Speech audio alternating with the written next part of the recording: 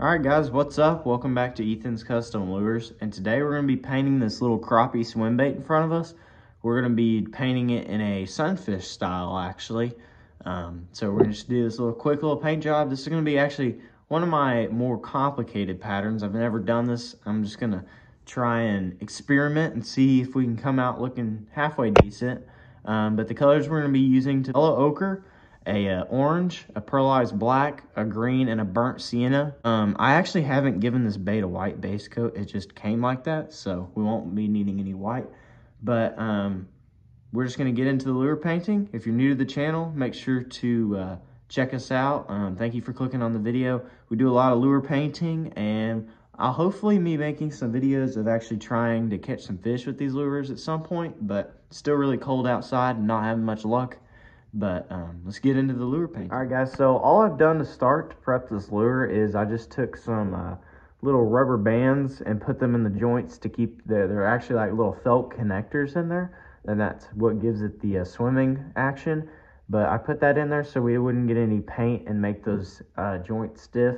What I like to use is basically I just get these like, um, you know those like bracelets that you use these to tie together? Well, I just go to like a hobby lobby or something and pick these up. They're just like those little, I don't know, like bracelet making kits, but I just use the rubber bands out of them to uh, put them on my fishing lures. But as you can see, this back one is sticking out a little bit, so we might have to adjust that since it's such a small joint and those rubber bands are pretty thick. But uh, without further ado, let's get our first color. I think we're going to do is we're going to cover the entire bait in this coat uh, uh, color of yellow ochre magic fly airbrush paint. We're just going to do a little base coat load it up in the gun let's all right so like i said we're going to start off with the yellow ochre just because all sunfish are kind of tan you know? Um, we're just going to do a base coat of this. Um, i'm hoping that this will look good. This is my first sunfish i've ever done so hopefully it will uh, look decent and we don't have to like redo this. But let's get this little yellow ochre coat in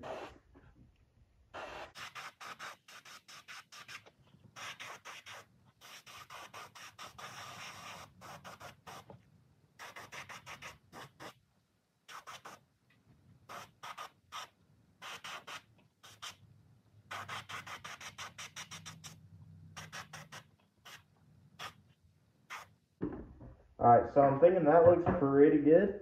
Um, it's looking a little yellow for my taste, but I mean, it is yellow ochre. I was hoping it would look a little more tan, but I think that's pretty good. We'll heat set this, and then we'll maybe do another coat or move on to the next coat.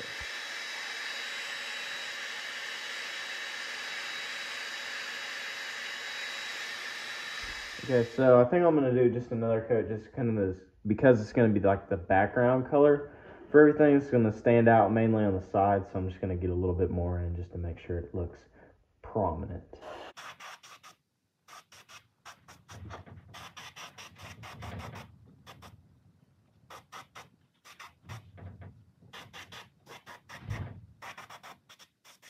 Alright, so it is looking a little yellow right now, I will admit.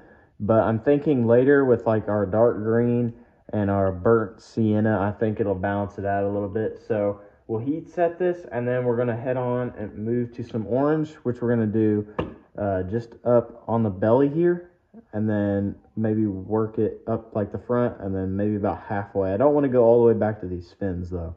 So heat set this and then move on to our orange.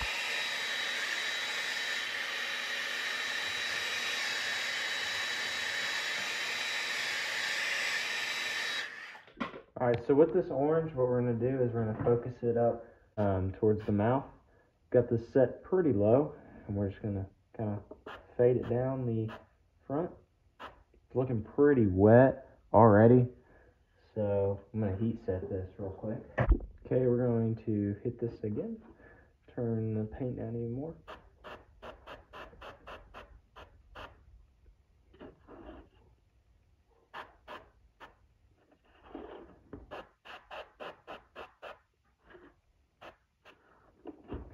All right, I'm thinking that looks pretty good.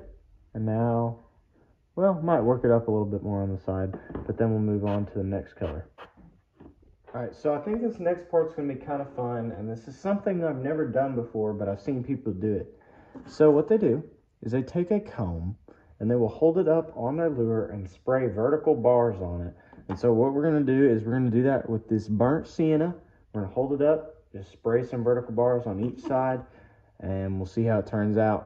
All right, so what I have here is one of those combs that has like two different like uh, distances between the uh, spokes. And what I'm gonna do is I'm gonna do the thicker side. Just gonna hold this here see how this goes.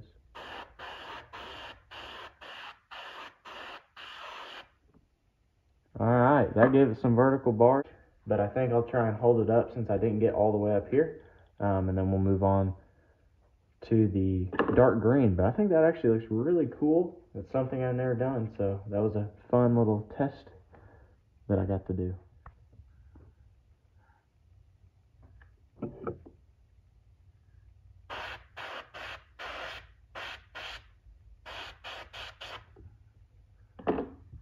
All right, that looks pretty cool if you ask me. Kind of give it like some tiger stripes, kind of. I think it looks pretty cool. Get this other side.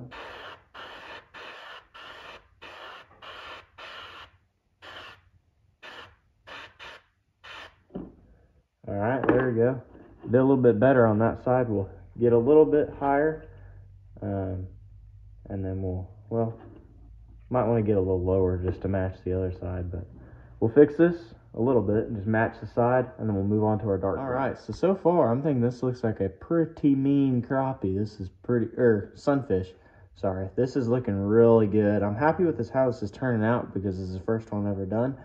Next thing we're gonna do is we're going to do a little bit of green on the top, but you know, sunfish are kind of dark green and this is not dark green. What we'll do is I think we'll mix a little bit of these two together, give us a dark green, and then we'll hit like dark green, fade it down a little bit, and then our last color will be this pearlized black that we'll do just on the All right, so guys, we mixed those two colors together, and that's what it looks like. I tested it on the cardboard. I think that looks really, really good. So we're gonna spray that on the top of our crappie here. Uh, but yeah, just thought that looks really good. I don't even need to try the other green. So let's do the top of this real quick.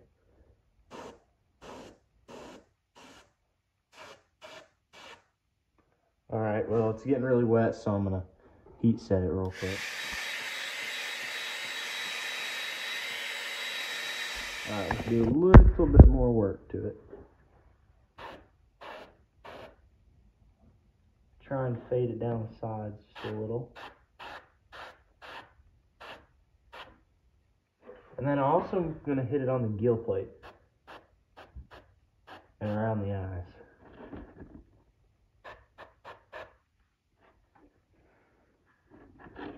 Sorry, left the camera there.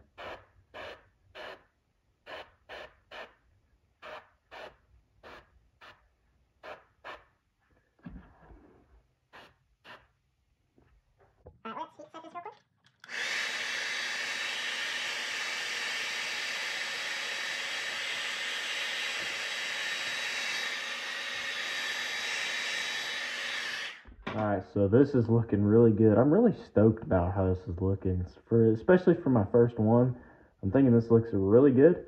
Um, we'll put some black on that top a little bit, um, and then we should be done. I mean, we'll put some eyes on, and I might just put a little blue um, looking gill thing like the bluegills have. I'll think about it though. I don't want to like ruin a really cool looking bait. So let's do this black. All right, guys, I decided to play it safe and not do that little uh, blue gill. So the last color will be our pearlized black. Um, love these Createx paints, they're really great. If you've watched my channel, you know that. I make sure to let you know in pretty much every video that I love Createx paints. But we're just going to load a little in the gun. And then we're just going to do a little thin strip across the top of the uh, back. So I have this bottom feeder. I've got the pressure or the paint set where not much is going to come out. Always like to double check on my cardboard. Um, and I'm going to hit this back just along the back, not trying to fade it down or anything.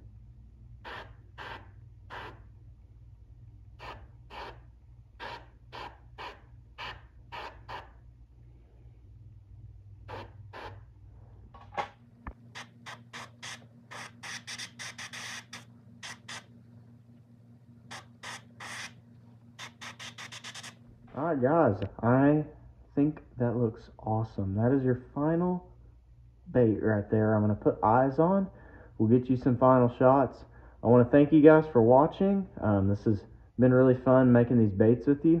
Um, I appreciate you watching my video. Please go check the channel out. It'd be huge if you could subscribe for me. Um, I think we're just hit 25, so we're just getting started, but I'd like to get to 100 by the end of March. That'd be awesome. Um, and then maybe get monetized by the end of the year. Um, I'll continue to make videos. Uh, if you do subscribe, it will help me and I can make more complicated patterns and stuff. So thank you guys for watching. I'll see you on another video.